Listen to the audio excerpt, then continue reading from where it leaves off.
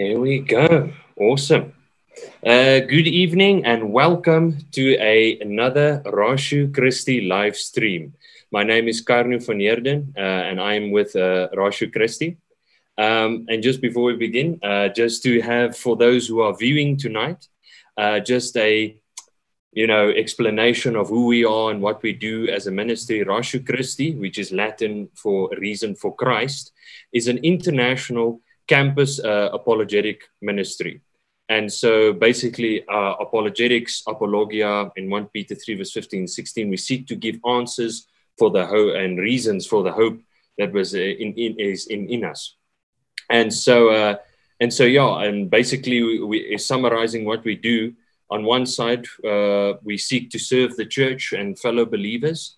Um, if people have questions about uh, Christianity, um, like Christians, helping them to answer those questions, helping them to have a deeper understanding of their own faith, basically what they believe and why they believe it as well. And on the uh, other side as well, we seek to create an open platform for um, uh, people who are not Christians, who have questions uh, regarding Christianity, questions and objections. And so and so yeah and uh, if you've been watching us on youtube and you're familiar with ratio christi you know that no topic is too controversial. We seek to engage in multiple multiple fields science philosophy politics economics you name it and and to give a sort of like christian understanding and you know you know deeper study and stuff like that uh, regarding these important uh, topics in our society. And so and so yeah um, and I also want to in, uh, encourage you all um, uh, with Ratio Christi, we are a non-profit uh, organization. If you wish to help us in our ministry and really help us keep uh, keep us doing what we're doing, because uh, yeah, um, we would uh, really appreciate it if you would um, also make a donation. there is a link in the description below, but you can also directly go to our website at ratiochristi.co.za uh, where you can uh, make a make a donation. Also, if you are interested in resources, or you, you name it, articles, we post articles weekly on different topics. Um, please also uh, visit our website, ratiochristi.co.za. We have a bunch of cool stuff already posted there and a lot of cool stuff still coming. And so, yeah, and, and, and lastly, also, um, uh, please subscribe to our YouTube channel. You know, click the notification bell uh, to to get notified with all our latest streams and videos coming out. But also, um, I encourage you all also subs- if you uh, uh encourage you to subscribe to our, our on our website um, to our newsletter to keep up to date with uh, what we are doing in the field and stuff like that. Because some of the stuff we do as a ministry might not always be uh, displayed on the YouTube channel and maybe on some of the uh, other platforms we work on. But if uh, if you want to keep up with what we're doing and the other projects we're working on and uh, stuff like that, please subscribe to our newsletter on the website uh, as well.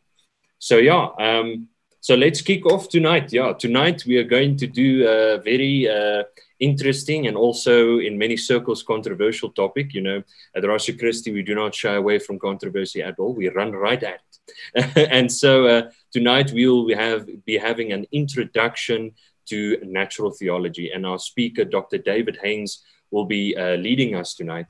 And um, yeah, so just quickly on uh, uh, uh Dr. Haines. Dr. David Haines um, uh, lives with his wife and their four children in Quebec.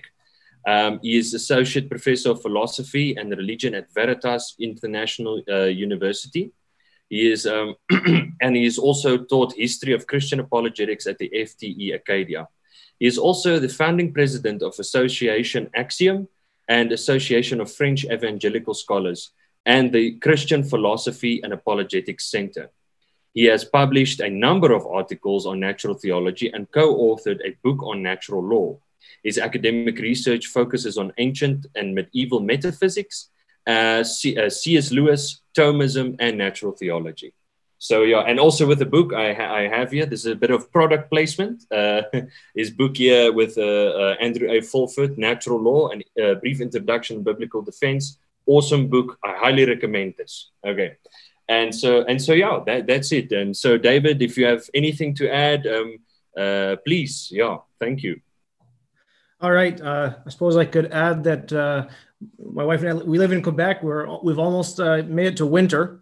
Uh, we have uh, a mini hobby farm, which in Canada, anyways, implies that we have goats.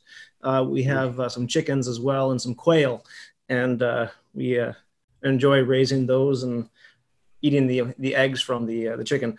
also, more recently, I've been teaching with the University of Sherbrooke up here in Quebec and Davenant Hall as well.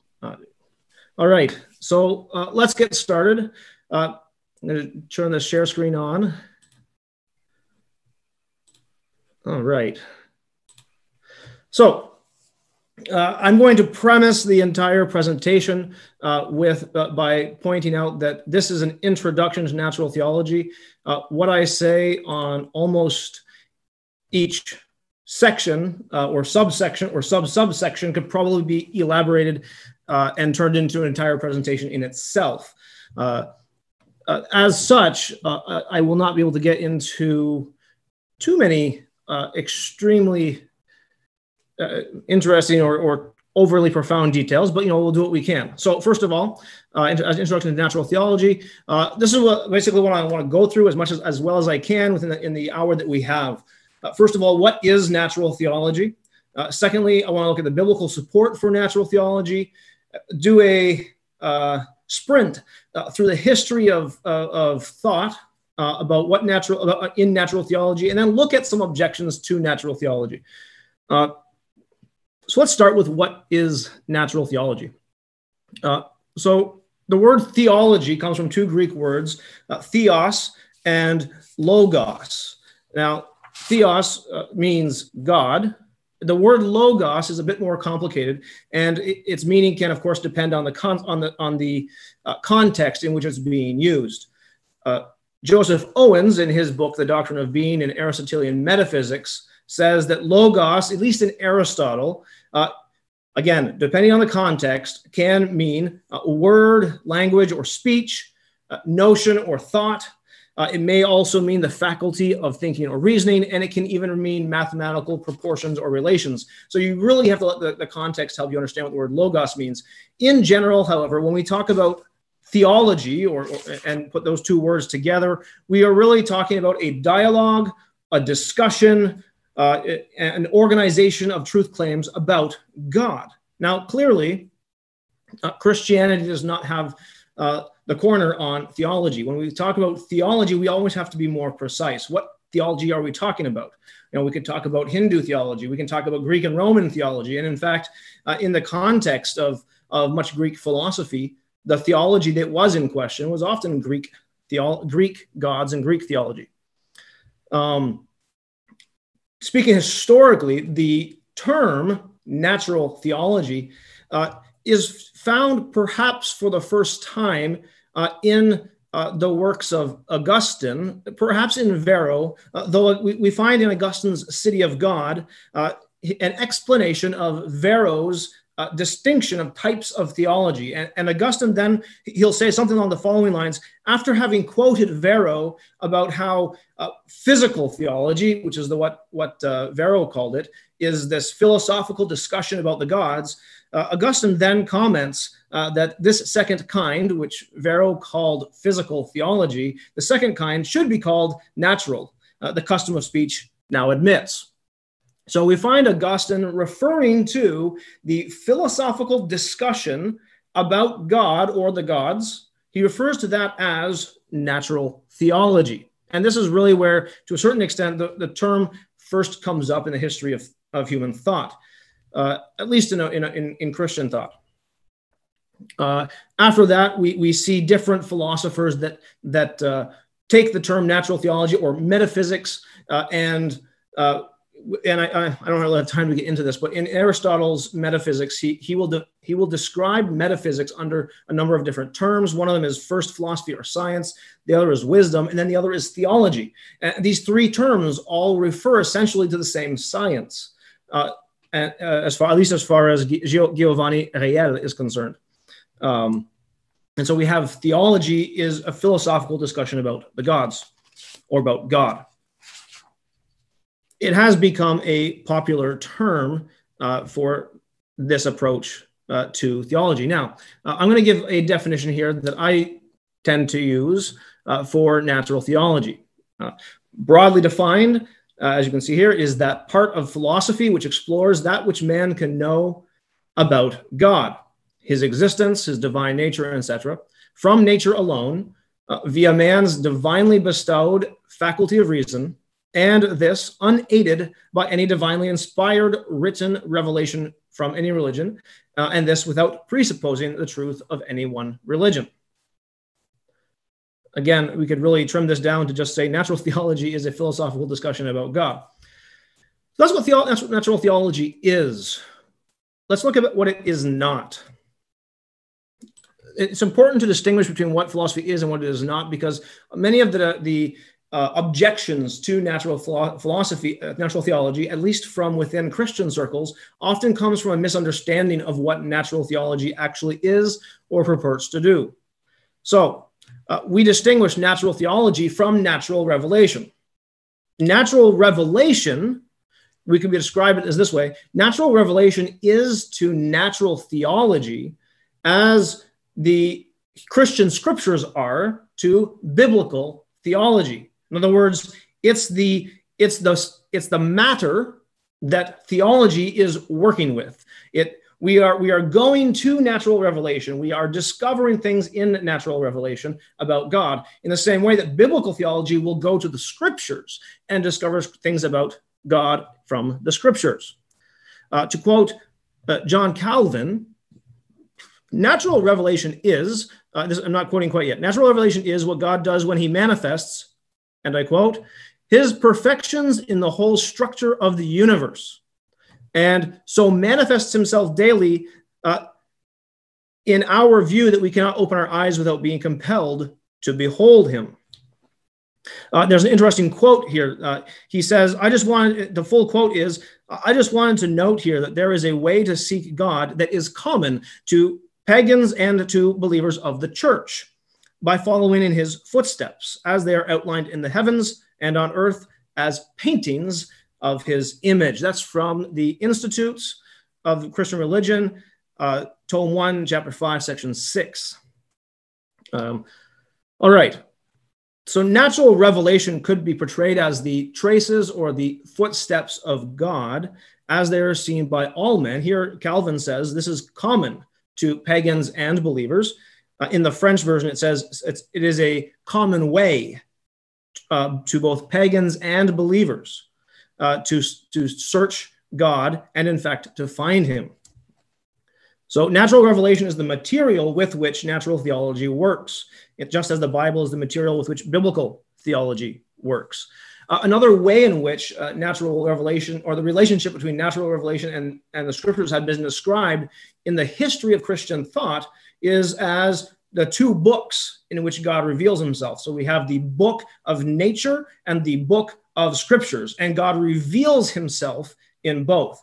We find that not only do we find that uh, image uh, illustrating the relationship between natural revelation and special revelation, not only do we find it in a number of Christian theologians in the Middle Ages, uh, we also find it uh, in one of the three uh, uh, foundations of or three sources of unity for the Reformed churches. That is the Belgian Confession. The Belgian Confession also refers to the two books in which God reveals himself the book of nature and the book of scripture. Another analogy, which I personally uh, find helpful to explain uh, what just what's going on in with natural theology and, and natural revelation, and then you know scriptures and biblical theology is the following. Let's see here. There we go. So we have here some pictures uh, that for most people will be immediately recognizable. Uh, we have the Mona Lisa and the uh, Last Supper, both of whom were painted by Leonardo da Vinci. Now, it is commonly known that Leonardo da Vinci never signed any of his works. However, uh, today his works are not only amongst the most well known of the Renaissance paintings, but they were also, in fact, quite revolutionary for his time.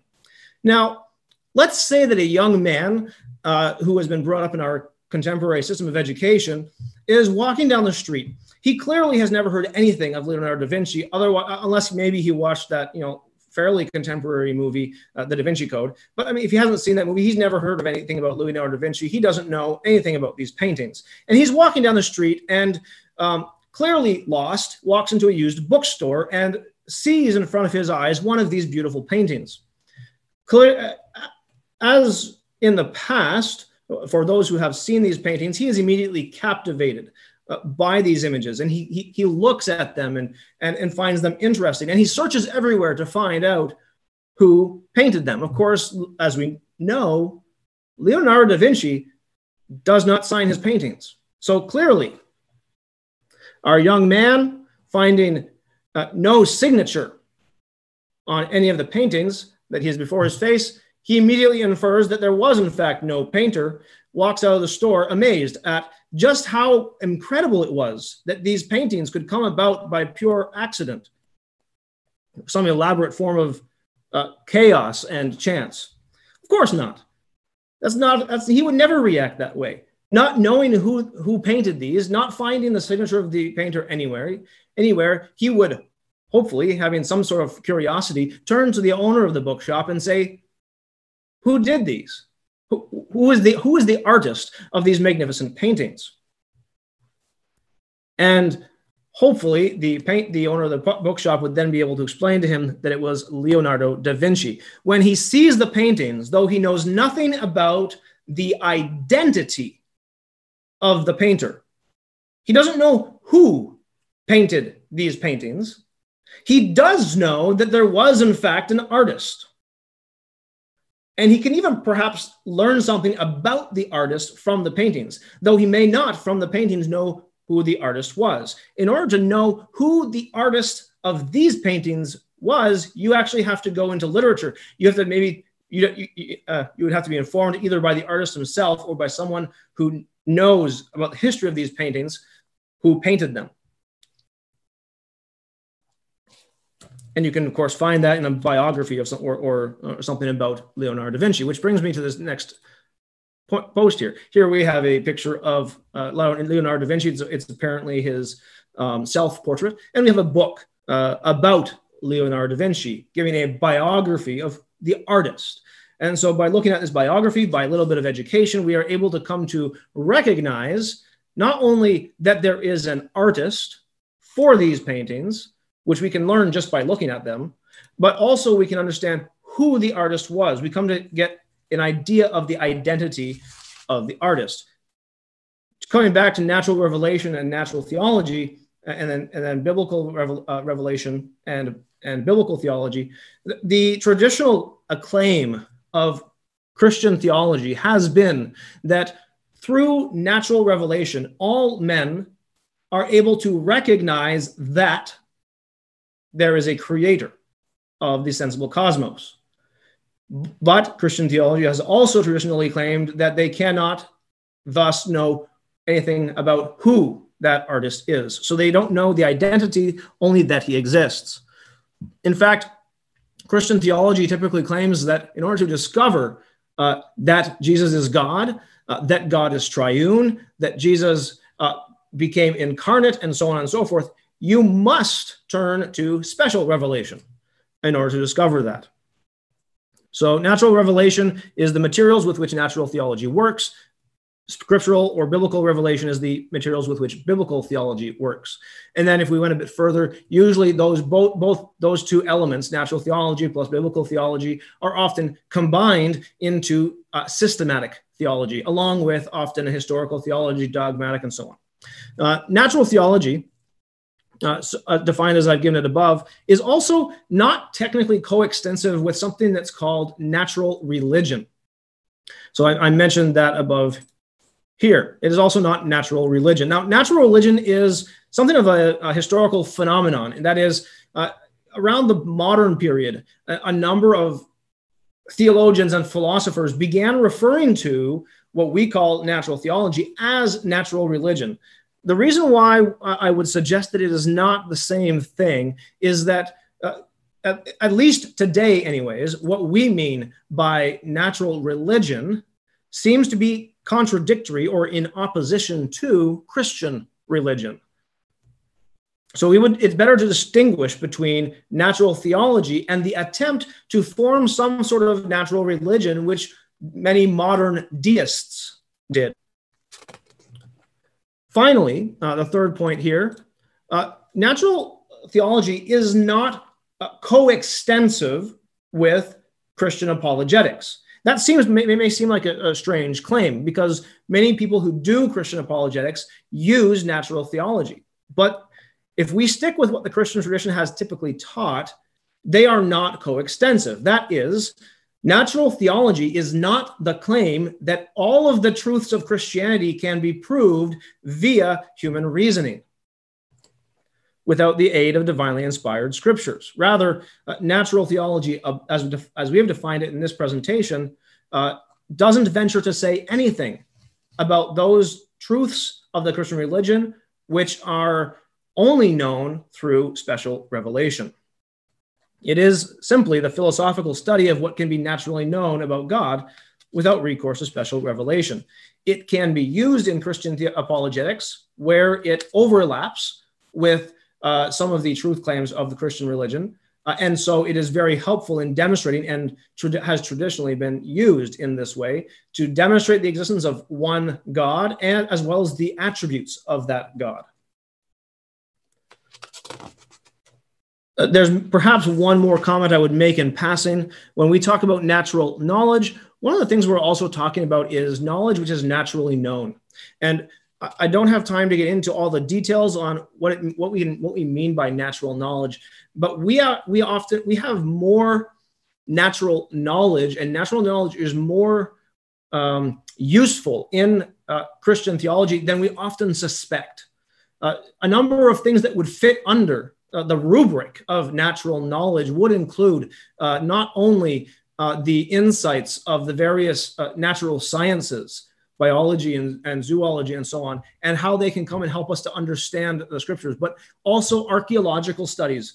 Uh, natural knowledge is, is, could be essentially be defined as anything that we know or come to understand, which is not explicitly revealed in the scriptures. Uh, and in fact, one of the things that I've argued for in an article I wrote a couple of years ago was that without a certain amount of natural knowledge, you actually can't even properly interpret scriptures. We uh, take for granted, you might say we presuppose natural knowledge when we read and interpret scriptures. All right, so we'll say that in passing. Biblical support for natural theology. Now, I only have time to briefly give an overview of some of these things.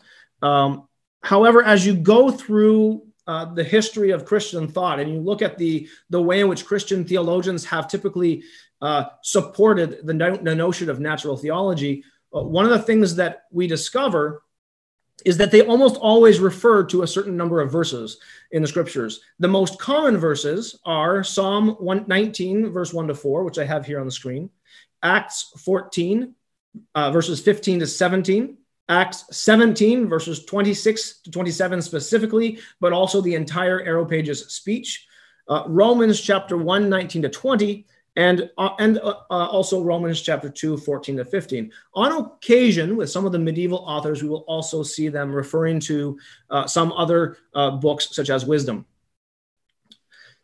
it, these verses are used for anyone who's interested in doing the historical research. These verses are often used as proof texts in the Reformed uh, confessions, such as the Belgian Confession, the French Confession of Faith, the Westminster Confession, uh, uh, the Synod of Dort, uh, and the London Baptist Confession of 1689. These verses are often supplied as proof texts for the claim that something about God, his existence and power, for example, can be known from nature. So let's briefly discuss some of these verses. Psalm 19, 1 to 4. The heavens declare the glory of God, and the sky above proclaims his handiwork. Day to day pours out speech, and night to night reveals knowledge. There is no speech, there are no words, whose voice is not heard. Their voice goes out through all the earth, and their words to the end of the world. Uh, these verses have been traditionally taken to articulate the point that the entire created cosmos is speaking to mankind and telling us humans we were created. Uh, when you actually go through the uh, the history, for example, of the interpretation of these verses, uh, it's very interesting to, for example, take a look at how Gregory of Nyssa, uh, in a letter to Eunomius, will interpret these verses. For example, he he he's trying to refute a heresy in related in relation to uh, the interpretation of, of some verses in Genesis, and in order to clarify what he's saying about these verses, he actually draws us to Psalm 119. And so he says, look, in Psalm 19, it says the whole universe proclaims that God exists. But clearly, this is analogy. And so his point is the, the, the, psalmist is, is not using literal language here. He's using some sort of imagery to help us get a point across. And then Gregory of Nyssa, he elaborates. He says, What's going on here? He says, Well, when we question the universe, when we when we look to the cosmos and we ask, you know, where did you come from? The universe unanimously replies, God made us. Well, Gregory of Nyssa is not the only one to interpret the scriptures, these verses this way. Augustine does exactly the same thing in one of his most well known works, the Confessions. And in the Confessions, uh, prior to his conversion experience, he discusses how through the sensible cosmos, he was brought to love God. This is prior to his conversion experience, which is at the end of the next book, but he in the Confessions, and, and he he talks about through this experience of, of seeing the sensible cosmos, uh, uh, returning in towards himself and then moving upwards towards God, this form of uh, almost a Plotinian ascent, uh, as we, we, will find in the Enneads of, of Plotinus. Uh, he discovers through the creation that God exists. And then a little bit later, we, we find another passage which is essentially the same as what Gregory says. And so he says, uh, he, in, Augustine says, I then turned to the cosmos and said, Are you the God that I have loved? And the cosmos replied, No, we were created by him. And then he turns to another part of the cosmos, perhaps the seas or the trees or the mountains. He says, Are you the God that I have loved? Because referring back to how he, he loved, he, he discovered that he loved God through the sensible cosmos. And the cosmos again replied, No, we were created by him. And Augustine says, referring to these verses in Psalm 19, that the sensible cosmos unanimously proclaim to he who asks, We were created by God. Well, they're not the only ones. I could mention Calvin, John Calvin. Uh, this is from uh, his uh, commentary on the Psalms. He says this, referring to these verses David shows how it is that the heavens proclaim to us the glory of God, namely by openly bearing testimony that they have not been put together by chance, but were wonderfully created by the supreme architect. When we behold the heavens, we cannot but be elevated by the contemplation of them to him who is their great creator.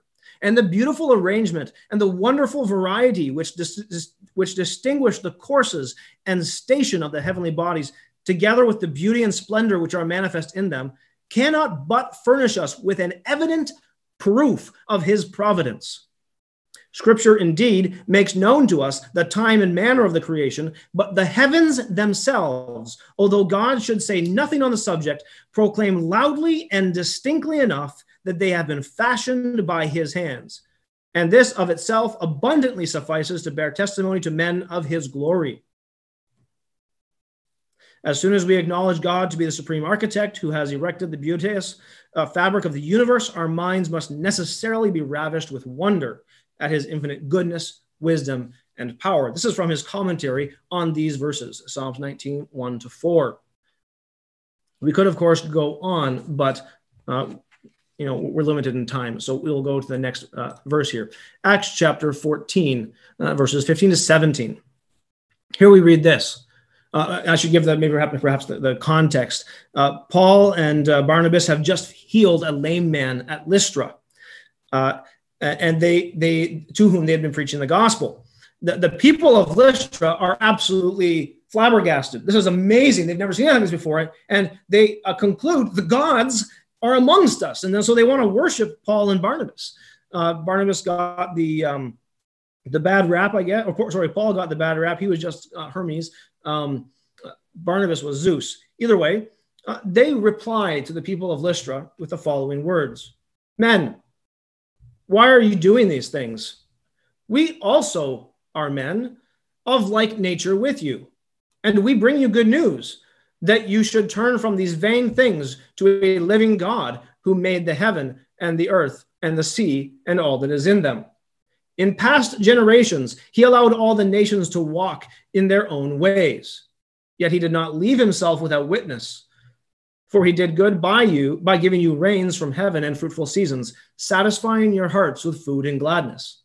Now, for someone who's not perhaps studied philosophy but has studied the scriptures, one immediately is drawn from these verses back to Psalm 19, 1 to 4 we have a witness, a testimony. What is that testimony to the existence of God? The heavens. And here Paul is very precise. Uh, he gave you rain from heavens, fruitful seasons, satisfying your hearts with food and gladness. But for someone who studied the history of philosophy, specifically ancient philosophy, uh, we cannot help but think of Cicero. Cicero presents almost the exact same argument in his work De Natura Deorum, of the nature of the gods. And so we have here an argument based upon the ordering of the seasons and the, the, the way in which the world functions to demonstrate the existence of a God who is both creator and pro- providential, providentially sovereign over the entire cosmos. F.F. Bruce uh, notes uh, something that is, is, is quite obvious for him in Acts chapter 17. He says, To Jews who already know that God is one and that he is the living and true God, the gospel proclaims that Jesus is the Christ. But pagans must first be taught what Jews already confess regarding the unity and character of God. And this is what Paul is doing here. Uh, John Calvin, in his commentary on these verses, Acts chapter, uh, Acts chapter um, 14, he says this seeing that Paul and Barnabas spake to the Gentiles, Gentiles, they should have in vain essayed to bring them unto Christ. Therefore, it was expedient for them to begin with some other point, which was not so far separate from common sense or perception, that after that was confessed they might afterward pass over to Christ. The minds of the men of Lystra were possessed with that error that there be more gods than one. Paul and Barnabas show, on the contrary, that there is but one creator of the world.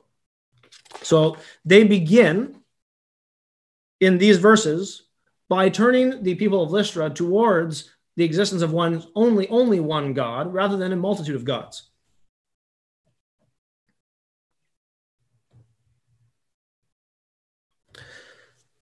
There, there is again more that I could say on these verses, but we will we will move on. I have one more verse I want to look at. It's probably the most uh, common verse that's used in these discussions uh, Romans chapter 1, 19 to 20. Here we read, For what can be known about God is plain to them, because God has shown it to them. For his invisible attributes, namely his eternal power and divine nature, have been clearly perceived ever since the creation of the world in the things that have been made. So they are without excuse. Now, some may think that the interpretation of these verses is evident. Uh, and in fact, throughout the history of Christianity, the interpretation of these verses has been fairly straightforward. Uh, however, uh, in more recent times, uh, there have been some con- uh, uh, variant interpretations. The most recent theologians propose it. when I say most recent, one of the most recent theologians to propose a different interpretation of these verses would be Cornelius Van Til. for Van Til, the rejection of the knowledge of God to which Romans 1 18 21 refers appears seems to happen during the fall of Adam and Eve in the garden. I could give some quotes here from his Introduction to Systematic Theology or other works. It, it would be interesting, however, to take a look at what John Calvin says on Romans 1 19 to 20. If we're going to use authorities for a reformed interpretation of Scripture, uh, it, it would be quite interesting to see what John Calvin himself says. For John Calvin, these verses apply to all mankind and are true of all men, regenerate and unregenerate, of all time. John Calvin says, for example, in his commentary, when he, talking about uh, Paul, when he says that God made it, his own existence, power, and eternal nature, manifest to them, the meaning is that mankind was created to this end, that he be the contemplator of this excellent work, the world, that his eyes were given to him in order that seeing such a beautiful image, he would be brought to know the author himself that made it. Calvin goes on to say that, but he, humankind, does not deduce by himself all the things that can be concerned, considered in God, but he shows that we come to know his power and eternal divinity. For it is of necessity that he who is the author of all things be without beginning and consist of himself. One final quote from the commentary on Romans uh, will be quite interesting for, for Calvin's perspective here. He says, commenting on because they knew God, he says, he declares here quite obviously that God made a knowledge of his majesty flow, uh, the French word in the, the, the French uh, uh, commentaries is découler. Uh, the best translation I can figure is flow.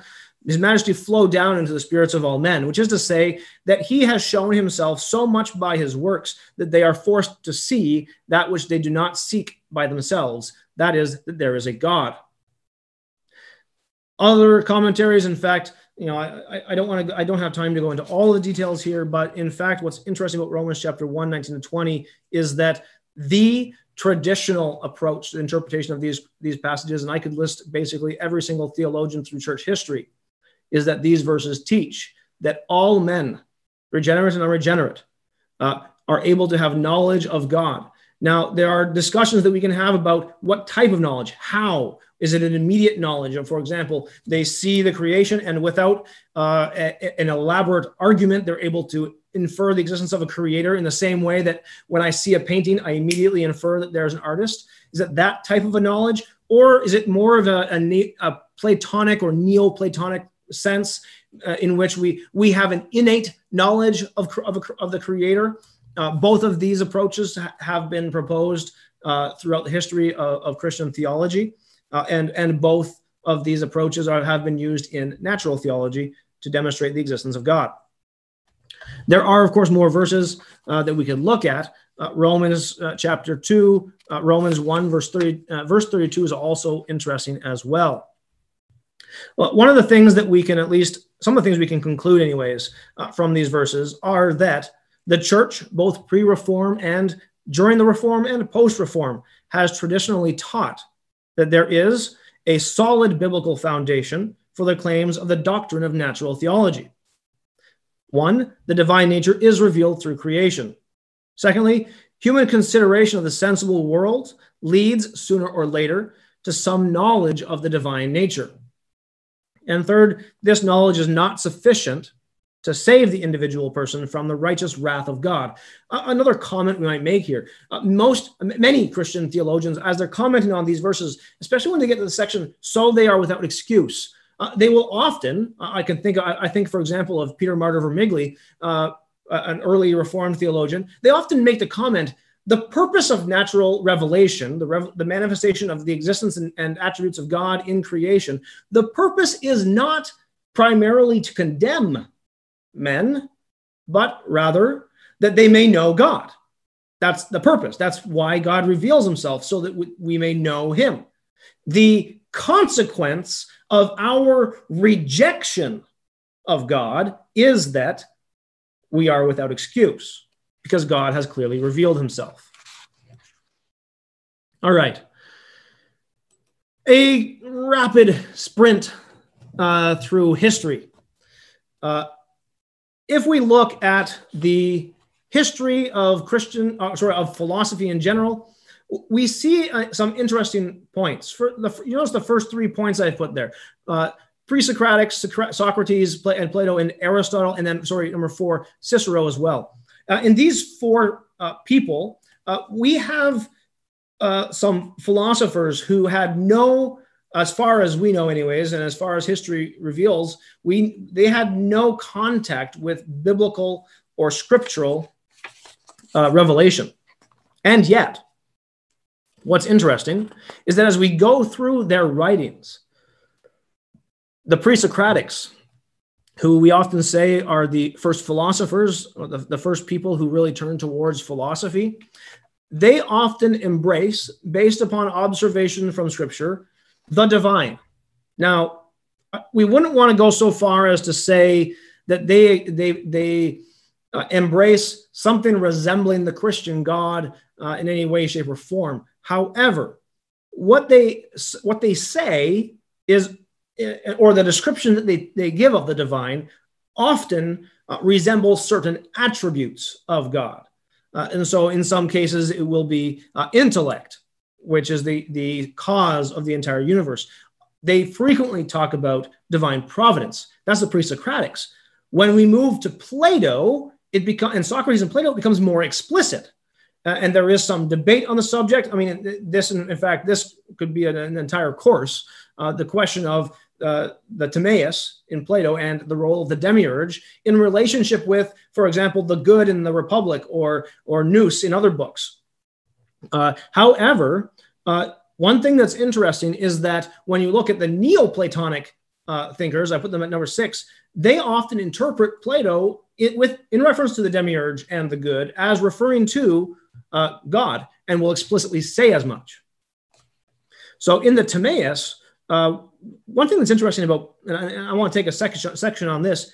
One thing that's interesting with the Timaeus, just before Plato give, gives his creation myth, which, uh, and I should, a quick parentheses, for Plato, a myth is not, as we often portray it today, a fictional story.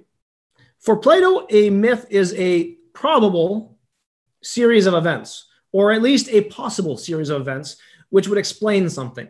So it might not be exact, but it's a possible way of explaining them. And so he provides a creation myth. This is the best I can think of of how God would have created the universe, or we might say the demiurge created the universe.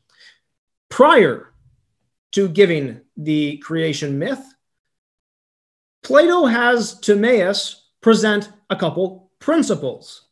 And one of the principles is everything that comes to be must of necessity come to be by the agency of some cause, for it is impossible for anything to come to be without a cause. Once that principle has been proposed, we then have the reason to provide a creation myth. And in fact, Timaeus will suggest so the sensible universe came into being. We know, therefore, that it was created. Now, it's going to be difficult to talk about this creator. I'm not sure how exactly we'll describe him or if we'll be able to at all, but I'll try to explain how he could have brought the sensible universe into existence. Uh, we also find arguments in the laws in which he talks about the existence of God. Aristotle in the metaphysics, metaphysics it becomes even more explicit the existence of the first mover. Uh, give a quick ex- example here uh, Aristotle uh, describes God as a mover. I quote here: a mover which moves without being moved, being eternal, uh, subsistence, or and actuality. Right? By subsistence, we mean, of course, existing essence.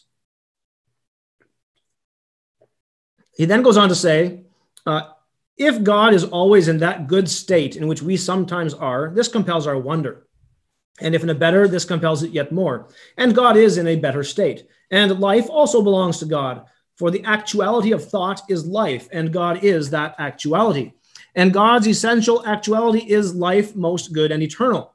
We say, therefore, that God is a living being, eternal, most good, so that life and duration, continuous and eternal, belong to God, for this is God. He then goes on to describe God as a substance which is eternal and unmovable and separate from sensible things. He says, It has been shown also that this substance cannot have any magnitude, but is without parts and indivisible. For it produces movement through infinite time, but nothing finite has infinite power. It is also clear that it is impassible and unalterable. So, uh, you know, many of these descriptions that we provide of God in in, in Aristotle uh, would would have been uh, what basically adopted by Christian theologians as saying, well, yeah, that's exactly what we mean when we talk about the God of Christianity. And as I said, uh, uh, with Plato, there's some debate about is the demiurge God. Well, there's also some debate about you know the first mover. Uh, is this God? Um, in the literature on the subject, uh, mo- uh, there there is a bit of debate. Some of the some will say that it is, some will say it isn't, and I don't really have time to get into that right now. All right, Cicero, another one that's interesting. Uh, uh, he also discusses the existence of God in his work on the natures of the nature of the gods and provides a, a number of different arguments to demonstrate that the divine exist.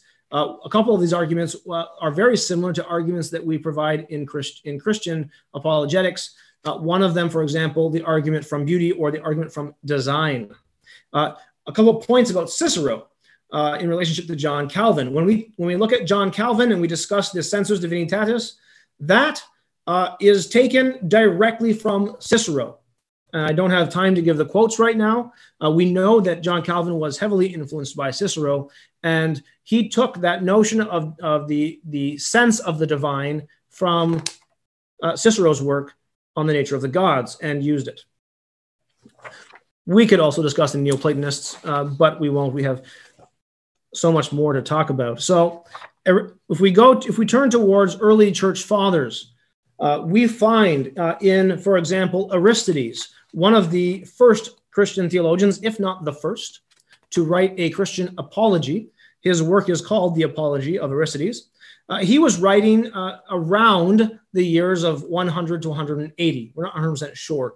Uh, we know he was a contemporary of Justin Martyr and was probably his, his work was probably written prior to Justin Martyr's. Uh, in the beginning of his work, he presents what is essentially a form uh, of cosmological argument uh, presented as an enthymeme, okay, which is essentially an argument from an unchanging or to an unchanging creator. Once he has demonstrated the existence of an unchanging creator uh, in his apology, he then uses that conclusion to reject all the other religions that are surrounding him at that time. And so he provides this, this really interesting uh, dilemma using multiple terms, all the different religions, and says, okay, we've proved from this argument that God is and that God is unchanging.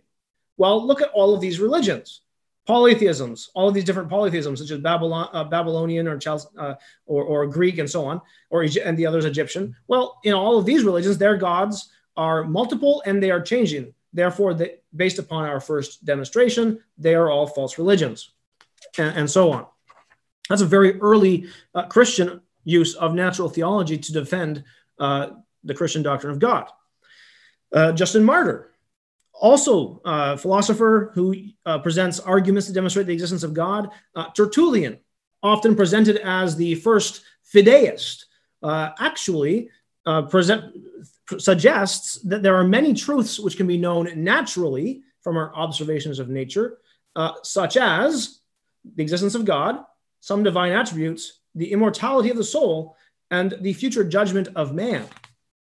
And Tertullian thinks that all of those doctrines can be known by natural knowledge. Athanasius is another one that's interesting. He provides a very in depth argument, which is essentially an argument from beauty or from design uh, in his works uh, such as in against the heathens. I won't get into details on that either. Gregory Nazianzus, in his work on theology, uh, prevent, presents an argument which essentially sounds something like this If there is order, then there is a rational cause that brought about that order. It is evident that there is order in the sensible universe. Therefore, there must be a rational cause that brought about that order. We find that an argument worked out in his treatise on theology, which is amongst which you will be able to find amongst his five theological treatises. Gregory of Nyssa is also interesting. He presents arguments based upon beauty to demonstrate the existence of God, uh, but he, he has this really interesting quote in his Great Catechism. In his Great Catechism, he explains uh, how, it, how he would present the truths of Christianity to different people from different backgrounds or with different uh, understandings of the world he says this, and I give a quote. This is from the introduction or the preface to the Great Catechism. The method of recovery must be adapted to the form of the disease. You will not, by the same means, cure the polytheism of the Greek and the unbelief of the Jews as to the only begotten God. It is necessary, therefore, as I have said, to regard the opinions which the persons have taken up and to frame your argument in accordance with the error into which each has fallen, by advancing in each discussion certain principles and reasonable propositions, that thus, or in this way, through what is agreed upon on both sides, the truth may conclusively be brought to light. Well, what do we do with someone who does not believe in the existence of God? Gregory says this Should the person we're talking with say, There is no God, then from the consideration of the skillful and wise economy, uh, organization, and, and, and running of the universe, he will be brought to acknowledge that there is a certain overmastering power manifested through these channels or in this way. This is essentially, again, uh, he said he basically say if you're talking with someone who disbelieves in the existence of God, use an argument uh, based upon the design or order of the cosmos to demonstrate that God exists.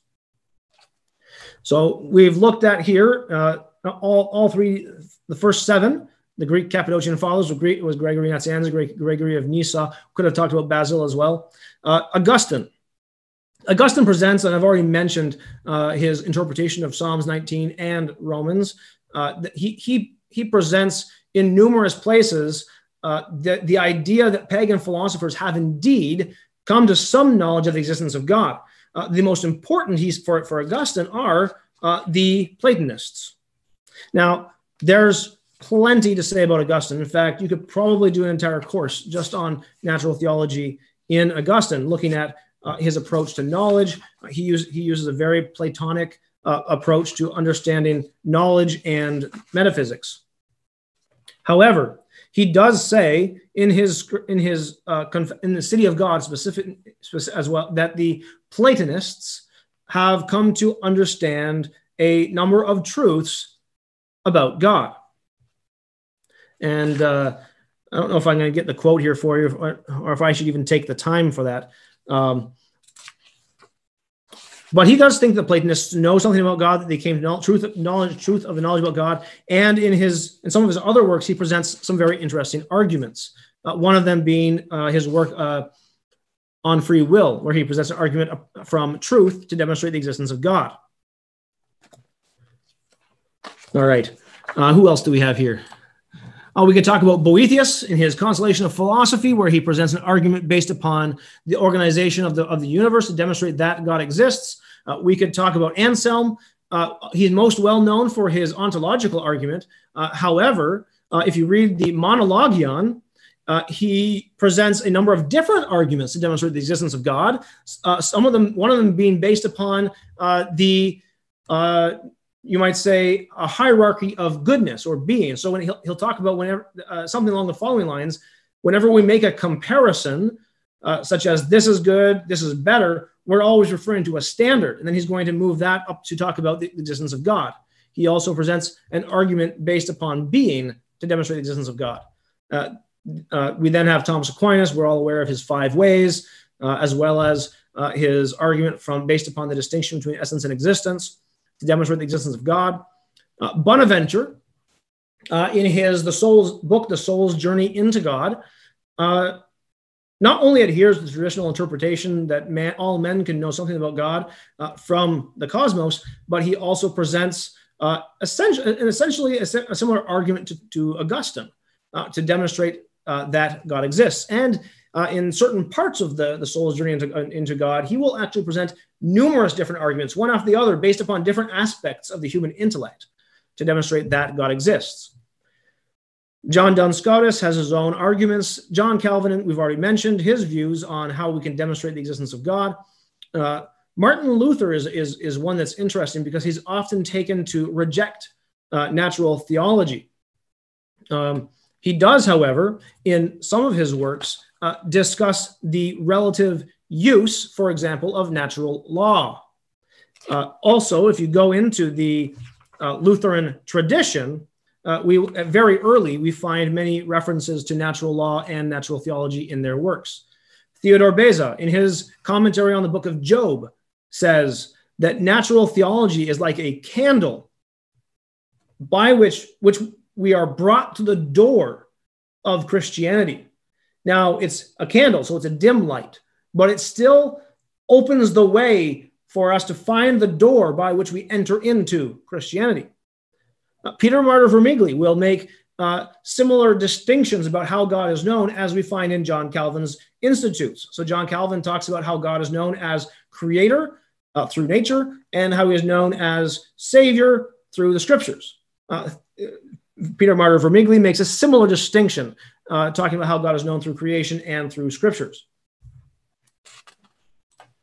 We could talk about Thomas Cranmer, uh, William Tyndale, John Davenant, uh, all of whom are Thomas Cranmer was an early Anglican uh, theologian, uh, all of whom uh, believed that man was able to know something about God from nature. Francis Turretin, he was actually one of the theologians who really got me interested in the Reformed approach to natural theology. I'll give you a quote from his Institutes of Elenctic Theology. He says, after he asked the question of whether or not the- natural theology can be done, or granted, he says, Our controversy here is with the Socinians, who deny the existence of any such natural theology or the knowledge of God.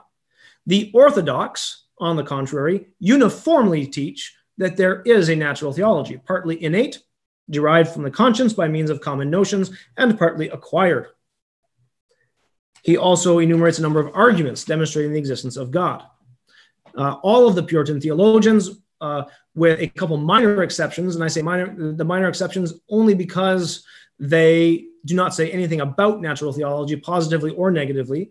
But every single Puritan theologian who says something about natural theology uh, says not only that it can be done, but that it's worth engaging in. One that's interesting is Stephen Charnock, uh, who says that natural theology uh, is important uh, for pastors who should use it as a remedy against um, essentially practical atheism, the what, act, acting as if God doesn't exist. And then I mentioned here the Reformed confessions and catechisms, uh, Cranmer's early catechism of the Church of England, the French Confession of, of Faith, the Belgian Confession, uh, and all the others. They all mention uh, the uh, natural theology. Now, I don't have a lot of time uh, to get into these objections. Uh, the objections are in some cases objections to natural theology on a, on a whole. Uh, in some cases, it has to do with some aspect of natural theology. Uh, in some cases, it's just even a, sim- a simple argument. But these are some of the objections that we might have.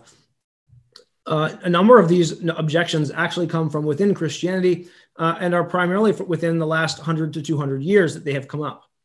Uh, first of all, natural theology is man's attempt to attain to God without divine aid. Uh, I've, I've heard this uh, preached from a pulpit, uh, this, this objection. This is simply a misunderstanding of what natural theology is. In fact, in the tradition of natural theology, I'm not, I, am not aware of many theologians who would say such a thing. In fact, the medieval theologians, the early patristics, and the Reformed theologians of, of, the, of the Reformation period from 15 to 1700s, all of them would say that natural theology is sufficient to demonstrate that God exists and something of his attributes, but is insufficient to saving man. In fact, this is what Thomas Aquinas says in the first uh, uh, question uh, of the Summa Theologia. Uh, natural theology says nothing of the Trinity. Therefore, it says nothing of the true God. Now, this in response to this, we could just go back to uh, the, the distinction I made between knowing that the artist exists and knowing who the artist is. When we talk about the Trinity, we're talking about the persons of the of of the Godhead, the Father, the Son, and the Holy Spirit. Natural theology tells us about the divine nature, not about the persons. It is not therefore false. Uh, if I know that something exists, but not yet who it is, my knowledge that the person exists is not false because I don't know who it is. If I uh, if I'm not expecting to see, for example, my brother walking down the, the the driveway to my house because that would just be really weird. He shouldn't be there. And I don't recognize him. The fact that I know that someone is walking down the driveway to get to my house is not therefore false because I don't know who it is. Second, uh, introducing Greek, or third, introducing Greek thought into natural theology. Well, I'm not going to spend a lot of time on this. Uh, this idea that uh, Greek thought was introduced into, into Christian theology has been soundly refuted in the past. Uh, and many uh, uh, commentators on the New Testament have noted that even the authors of the New Testament themselves were in their culture Hellenic. therefore, they, they themselves were introducing aspects of Greek thought into the scriptures themselves. And it's, it's, and it's not therefore wrong. Uh, and we can look at the others as well. None of the arguments demonstrate that God exists. We talk about the different. We'd have to look at the different arguments in each in, in detail. Um, natural theology is riddled with errors. The fact that there is one or two errors or even many errors does not therefore negate some of the truths which are discovered. And we'll leave the last one because I am out of time. So there's obviously a lot more that could be said. This was a brief summary of what natural theology is.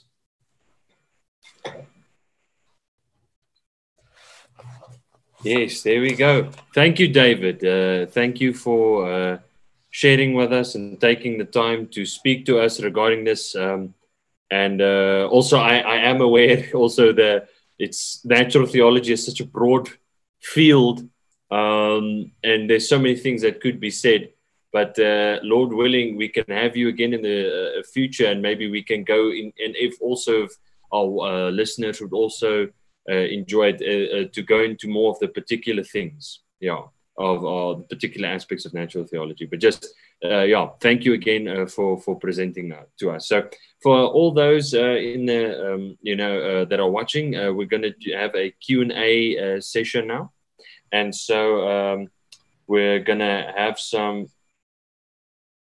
have some, I already have some questions coming through here. Um, David, I think you can uh, turn off uh, your screen sharing if, if you're done. There we go. Awesome.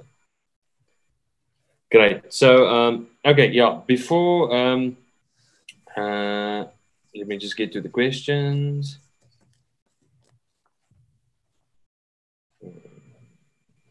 Okay, here we go.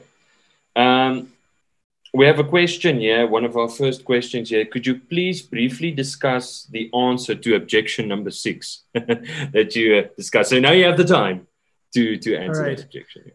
Let me see here. Objection number six. The arguments are circular because they presuppose that God exists. Uh, let me, I, I should probably, hold on a second. I'll see if I can put that up so you can see it again.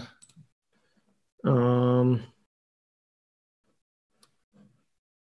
share screen share. Okay. I don't know if it, I hope this won't take me back through the entire thing. Anyways, you can see it there. Uh, the arguments are circular because they presuppose that God exists, or alternatively, they only demonstrate that God exists if you presuppose the truth of the Christian religion. Now, this is an argument that comes from within uh, Christian theology, specifically contemporary Christian theology. Uh, it's uh, we see it primarily in uh, Cornelius Van Til and uh, presuppositional thought. Uh, we will find variations of this in other uh, Christian theologians. Uh, I've found it uh, in the works of Alister McGrath. as well, which I found personally quite interesting because in an early book that he wrote, he actually had a, an appendix in which he attempted to provide uh, problems or a response to presuppositionalism. Uh, however, in some of his more recent work on natural theology, he has adopted an approach to natural theology, which is essentially uh, a form of uh, perspectivism or perspectivalism, uh, in what we call it in philosophy. Uh, the idea of that coming from a certain perspective is the only way in which natural theology actually works. So the arguments are circular because they presuppose that God exists. Well, it depends what we mean by presuppose. Uh, if we mean technically, the word presuppose means that we assume prior to. Okay, suppose it's where we're accepting something as true prior to something else. So I'll give you a quick example. Uh, in order to demonstrate from the scriptures that uh, Jesus is God, or uh, at least to demonstrate from the scriptures that if you if you are Christian, you have to have to affirm that Jesus is God. You must first assume uh, that the scriptures are the word of God. If they're not the word of God, I mean, you could still try and say that they affirm that Jesus is God, but it wouldn't really mean much of anything. It'd be like trying to say that, well, uh, you know, in Greek mythology, uh, Zeus is the highest god, and then I'll try and demonstrate it from those works. So there, there are certain assumptions that you want to make ahead of time. For example, if I want to, if I want to say that the Bible is the word of God and that we should listen to it because it is God's word, I must first uh, presuppose that God exists. Um, that's what so I, am assuming ahead of time the existence of God. Otherwise, the claim the Bible is the word of God makes no sense. So a presupposition is a uh, idea, a thought, uh, a, a truth claim that I hold as true prior to something else. That's the presupposition. To say that uh, the argument is circular because they presuppose that God exists would be to set, suggest that somewhere in the premises prior to the conclusion, there is this illicit premise somewhere hidden which says uh, that God exists. However, uh, when we look at the arguments themselves, this is not the case. Uh, there is no illicit, at least we don't see one. I mean, you can try and put one in there, like, oh, there, there it is. You know, number one, God exists. Now let's now let's prove that God exists. Rather, what would perhaps be uh, more in line with Christian theology, it would probably be better to say something along the following lines the existence of God is a precondition for the possibility of, of human rationality. Okay? It's a precondition. If God does not exist, at least according to Christian theology, then uh, there won't be anything. Okay, God, if and, and so there's this idea that unless God is, nothing else is. And that comes from the demonstration. We, we know that uh, from the demonstrations of the existence of God. Uh, we, or, or I'm not, I'm not aware of any scriptures anyways that would, we could use to say that, but we could perhaps on other, other levels. So if we're going to talk about a precondition, that's one thing. A presupposition is something that's in my mind. So I, I would say that that is quite, is quite simply false on the level that, for example, uh, when you especially especially when you look at the early Greek philosophers, uh, Aristotle, Plato, Cicero, um, and so on, they don't seem to be presupposing the existence of God in their demonstrations. Rather, they seem to be arriving at them based upon uh, their observation of Scripture uh, of the of the natural universe.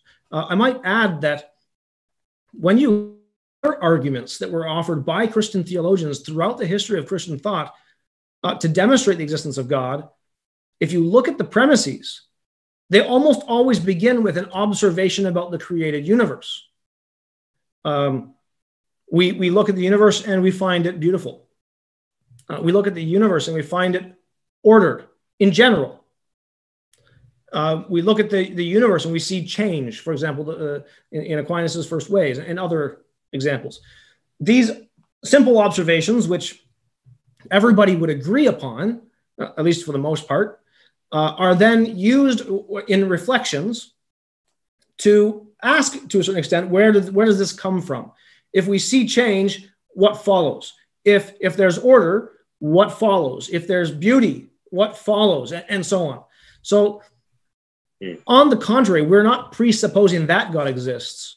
We're beginning with this just just a simple observation of the created cosmos Okay, I see. Thank you, David. There's probably there's a lot more that could be said, but yes.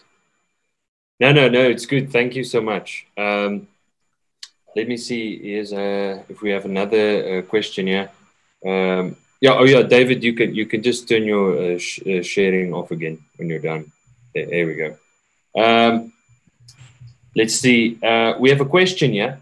What role does beauty play in natural theology? How would the argument from beauty be phrased? Uh, so, so um, that's an interesting question. I'm, so I'm teaching a course on uh, the argument from beauty and natural theology right now. We're, we're tracing its, its, it through history. Um, one of the things that we are seeing in this course that I'm teaching is that there isn't a single argument from beauty. There are, in fact, a number of different arguments from beauty. Each one of, them is different. Um, and they're based upon different types of observations. Uh, so some of them, uh, we could call them the, we might say it's the Ciceronian, the Ciceronian uh, argument from beauty. Uh, uh, because we find it, I think, probably for the first time in Cicero. Uh, this would be a, something along the lines of uh, when we observe uh, beauty, we uh, recognize that that beauty is put there by an artist. We observe beauty in the rational world, therefore, there must be an artist who brought the rational world, or sorry, the sensible world into existence. Now, that, that's a really simplified um, version of the Ciceronian argument.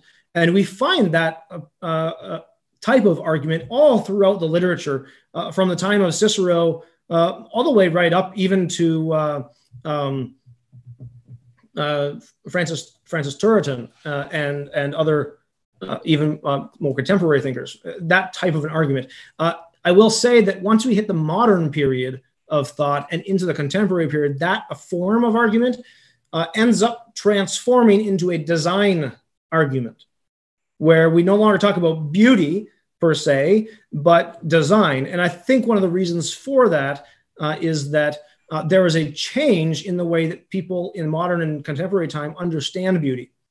Now, another form of the argument from beauty uh, is based in uh, a more of a Platonic approach. Uh, and so we will have this Platonic approach to beauty where beauty is a form. And anything that, and, and so in, uh, I'll kind of to say this right off the start, start, this argument will hold if Platonic metaphysics is true. If, if we refute Platonic metaphysics, the Platonic argument from beauty is less compelling, at least. Uh, and so the idea for, for Plato would be beauty is a form. Anything in the natural world that that we see as, as being beautiful necessarily has the form of beauty. And so, from the observation of the natural world and the existence of the form of beauty in things, we are therefore brought to recognize the existence of the divine uh, form of beauty. And then in the Neoplatonic thought, that form of divine beauty, which is just a form in the realm of the forms with Plato, it actually gets changed into uh, God Himself, who is the supernal or supreme beauty. Okay, and so there's that approach. Now, that argument will get slightly modified by Augustine and then later by Bonaventure um, to become an argument almost based upon the existence of essences and specifically the, the essence of beauty. Uh, Plotinus will, in fact, say that this argument, the argument from beauty, is so compelling because beauty uh, draws our attention. It, it, it's, it's kind of like when you, it's like uh, going to a circus. It's, it's flashing colors and it's just like, wow, it's just, it's, ev- it's everywhere, you know, or, or, you're sitting outside and you see the sunrise, you know, the sun setting. Uh, it draws your attention. And so beauty draws us to it. That's why it's uh, in Platonic thought and Plotinian thought, beauty is this um, powerful way of drawing our mind away from the sensible world to the divine. Uh, and then, of course, there was there are other forms of it. Uh, I, I, could keep going if you want me to. Uh, the conclusion of most of these arguments, um, in the case of the Ciceronian style, it's there is therefore a divine artificer or artist. Okay. Uh, but in the other ones, which are more Neoplatonic in style, uh, the, the conclusion will be more along the lines of there is therefore a divine or supreme beauty, and that's what we mean by God. Okay. Uh, so again, these arguments are not demonstrating in any way, shape, or form that God is triune, but that the divine nature is this way, or that there is a divine artificer. There's again, there's more that could be said, but I, I, don't know if I want to yes. jump into all of that. Yeah, no, but uh, thank you, uh, thank you, David. I think uh, it really uh, sums it up uh, quite well. Yes, thank you. Um, we have another question here. Uh, how would one best go about helping followers of the New Age, the New Age movement, who believe that nature itself is God, to take the next step and look at the all, cre- the all creating God? So, you know, how to change the perspective from that nature itself is God to the fact that nature is revelation of a God that created. Yeah. That's an awesome question. Um, that's actually a question that I'm uh, currently working on myself. Uh, in the in the sense that um, there are some very interesting arguments, okay, that can be given to demonstrate uh, and, and we and we find them in, in Aristotle, we find them in Plotinus, you know, and many Greek philosophers and also Christian philosophers. These arguments that can be given to demonstrate that God is other than the sensible cosmos, and those arguments would be sufficient to demonstrate that no, created nature itself is not God; they were created by God. Um, so I, I, think that I, would put this way: philosophically speaking, there are some really solid arguments that we can use.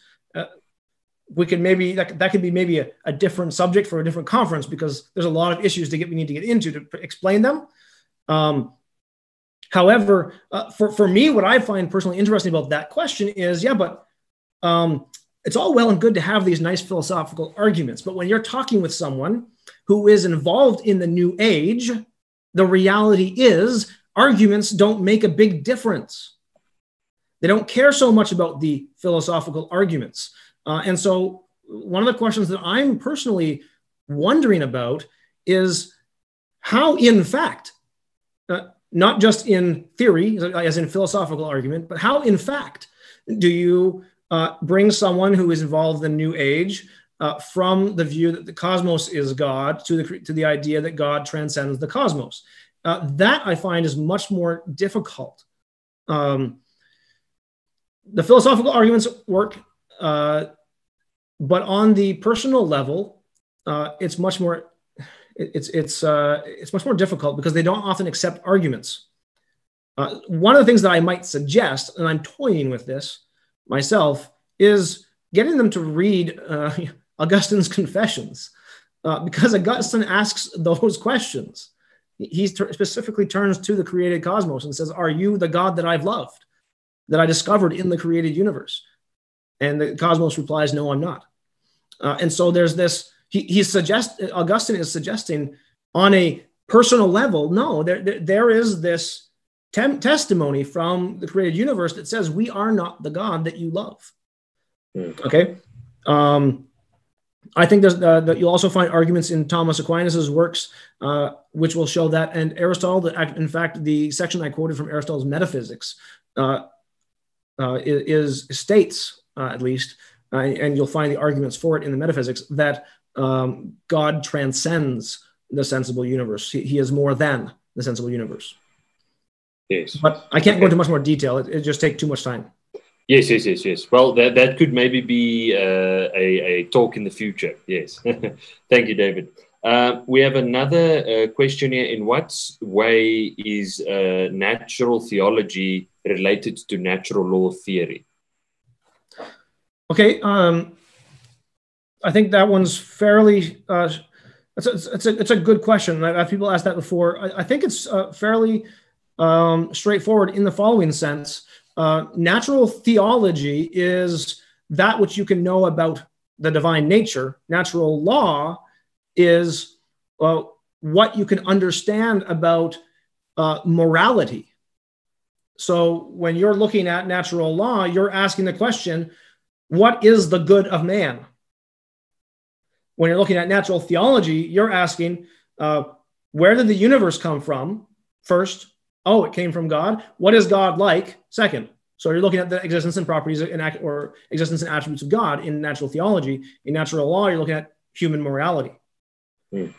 In both cases, it's uh, this rational. It's, it's, it's I would call it a re- reflective observation of nature. So you're looking at the sensible universe, you're looking at what man is, and then you're asking the question that uh, based on what man is, what should he be doing? And then in natural theology, where did this universe come from and what would its cause be like? Yes. Okay, awesome. Thank you. Um, another one we have here. Uh, can you maybe briefly expand on the concept of common notions? What is it? What role does it play in natural theology and so on? So, just like when you mentioned the uh, the common notions, yeah, the aspect of common notions. Uh, I'm going to punt that one actually uh, to um, J.V. Fesko, who just recently came out a book in which he discusses that. Uh, I, I, assume that the reference that, that the question the questioner is is making is to the quote from Francis Turretin on common notions. Yeah. Um, I, am just going to say, you know what? You want to have a good discussion on that? Read J.V. Fesko's book that he that just came out. I believe it's called Reformed Apologetics. Mm and he will be okay. that will go much more into detail than I could do in, in attempting to answer anything here. Okay, awesome, thank you. Um, also, as a, uh, a, question of like uh, practicality, in which you said like natural theology can uh, we can like for example get the attributes of God uh, from na- uh, natural theology. Could you give an example uh, of how how does one even demonstrate that? Not that it's possible, but like how do you demonstrate uh, the attributes of God? You can, maybe can pick like an attribute and just show how through natural uh, theology, how did do you get there? Yeah. Okay. Uh, I'll premise this by saying this is going to be summary, and therefore, if the argument's not uh, perfectly uh, presented, please forgive me. I'm giving it in a in a brief answer. Uh, essentially, Aquinas's first way uh, is uh, not only demonstrates that God exists, but that God is also impassible. The, he begins with change and he says, We, we observe, the, the, the eyes or the, you know, the senses attest that some things change. And then he says, If something changes, it's changed by another. Okay. Uh, if, if that thing is changed, then it is changed by another. There's a lot of details there we would have to go into to, go into there to make to understand what's going on. But that those are some of the premises. Uh, he says then, but this uh, series of uh, moved movers or changed changers cannot go on ad infinitum. It can't go on to infinity. This is not a, a movement forward; it's a movement backwards. Okay. Uh, you, have got the the you might say I, guess it's hard to give an example on television. Uh, here we go. Here we go. Let's let's say this mouse is sitting on a desk uh, I'm moving it across. Well, it is in this as it's being moved. It's being moved. It's it is being moved. What's moving it? My hand. You know, what's moving the, my hand? You know, my arm, right, and so on and so forth. Uh, well, he's going to add this movement cannot go on ad infinitum. We must come. Uh, we we must therefore come to a a first unmoved mover. Okay. Well, that statement, that first unmoved mover, uh, if we rephrase that, he's saying uh, we come to a cause of change that is immutable. There's our first uh, attribute of God. God is immutable. Okay, and that's part of the conclusion of the first way. Um, we could then go. In, in fact, in each of the each of the five ways, uh, it comes to a different conclusion. And in that conclusion, there is the next thing. But let's say we stick with immutable. Okay. Mm. We can then go a step further. We've demonstrated there is a first immutable mover. Okay. Well, what does immu- immutable mean? To be immutable means that you do not change or there, there is, you, you cannot in any way be changed. Okay. Can we demonstrate something more? Sure. What is time? At least in Aristotelian Thomistic thought, and again, we can jump into a whole debate about what time is, but at least in Aristotelian Thomistic thought, and we're looking at Aquinas, so we can we can use this. Uh, time is the measure of movement or of change. Okay, so if there's no change, then that thing which is unchanged or immutable is also therefore a temporal outside of time, not measured by time. Well, how do we express that in theology? Eternal. So, from the first, first way of Thomas Aquinas, we've demonstrated not only that there is a first mover, that that first mover is immutable, but that, that we, we can then go on to demonstrate from that conclusion that God is also eternal. And we could, we could keep going. So, that, that's, again, really quick.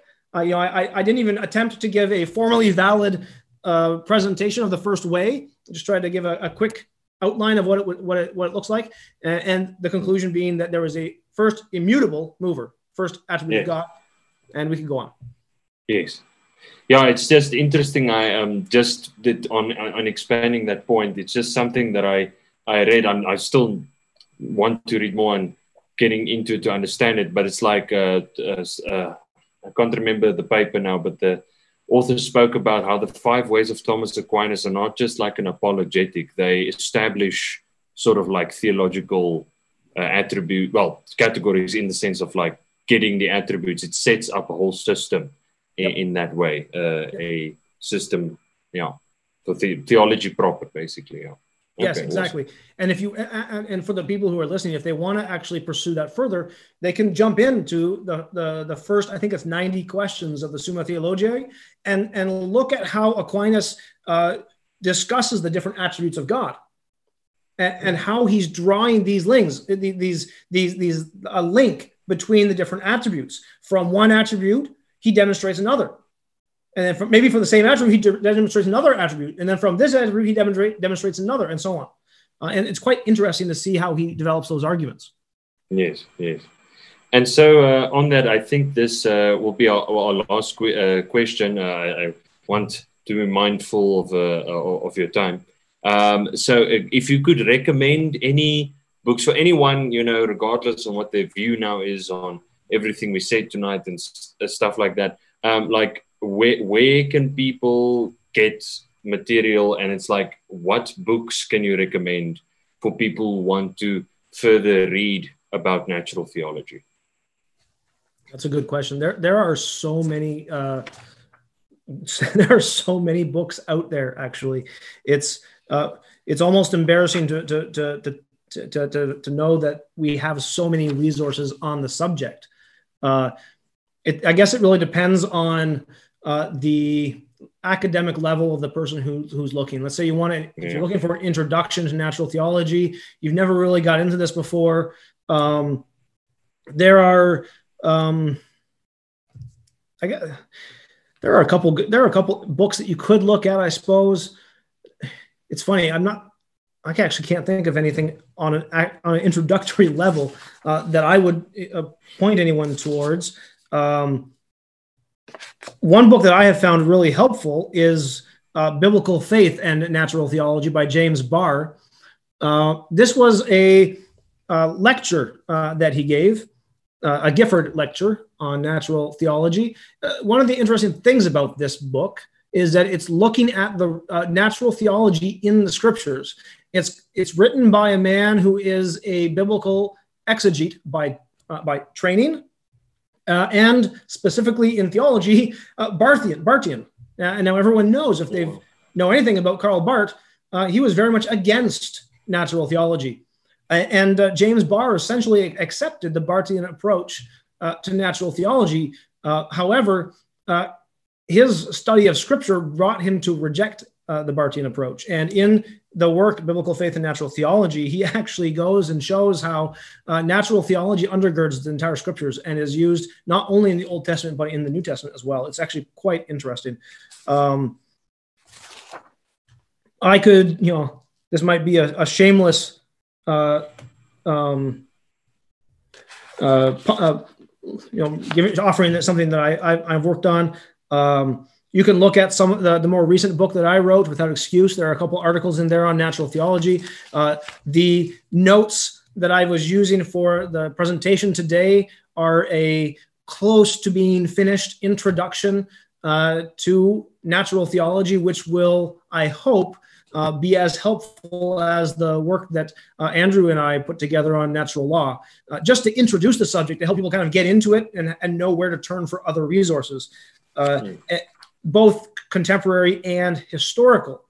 If and then and, and that's where I guess you could come to questions of uh, other other types of resources. If you're going to look at uh, you know, the natural theology, perhaps in the early Greek uh, philosophers, you want to you you want to get hold of uh, Werner Jaeger's uh, important book, The Theology of the Early Greek Philosophers, um, and uh, Cicero Uh, you might want to look at his uh, On the Nature of the Gods. It's quite good. Uh, and he has uh, a, a, section in there where he discusses the existence of God. Uh, and then, of course, you can just go through the history of uh, theologians, look at how they, and, and, just read the different church fathers, read. I, I, love recommending Gregory Nazianzus's small treatise called On Theology. It's just, it's an absolutely wonderful read. Uh, again, it's not an introduction to natural theology per se, but you find it in there uh, arguments for the existence of God, and it's very devotional. Uh, you could look at works by Athanasius and so on and so forth. There's there there is a wealth of resources. Um, some maybe a good place to start as well might be uh, the Oxford Handbook Handbook to uh, Natural Theology, or the I think it's called the Blackwell uh, Handbook to Natural Theology. They also have helpful resources. Blackwell Companion to Natural Theology. That Blackwell Companion to Natural Theology. Yeah. Those will include basically articles by different uh, scholars on the subject. Uh, another one that's, that's quite interesting. I, I don't see it quoted as, as often as it should be. Uh, the Reformed Objection, I believe it is, the Reformed Objection to Natural Theology. Um, oh, his name's not coming to me. Uh, the name, the author's name. I have it sitting on my bedside table. Uh, it, that is all. I, I, could send you that by email maybe, and you could put that in the comments if you want, or, or pass it on yes. to anybody. Uh, that is thank you. That that's a, a helpful look at how natural theology has been received in Reformed theology, uh, specifically uh, contemporary Reformed theology. Uh, yeah, and, and, again, like, if we're looking at historical stuff, I can just list off a whole list of different yes. yeah. Uh, Reformed theologians as well, but yeah, yeah, maybe maybe what we also can do, you could maybe just send like a, a bibliography list that summarizes. We can just post it in our description after uh, tonight's YouTube stream. Then people can go and look, uh, uh, have a look at um, the potential resources. Yes. Yes, absolutely. There's also a book on the Puritans, uh, Natural Theology and the Puritans, I believe, is uh, which is quite good. Uh, looking at again the Puritans' approach to natural theology. Yes, definitely. Okay, awesome. Thank you so much, David, and thank you for your time that uh, you took to share with us and uh, come and speak with us. All we really appreciate it, and also uh, I want to also thank uh, say thank you to uh, Gior as well, helping us with the technology. Always uh, thankful um, for his help with that. And yeah, so that will be our conclusion to tonight's live stream, folks. And so yeah, hopefully. Um, we will see you again, Lord willing, next week uh, when we shall uh, continue our live stream. And uh, yes, uh, be blessed and uh, may God be with you all. Thank you and have a good night.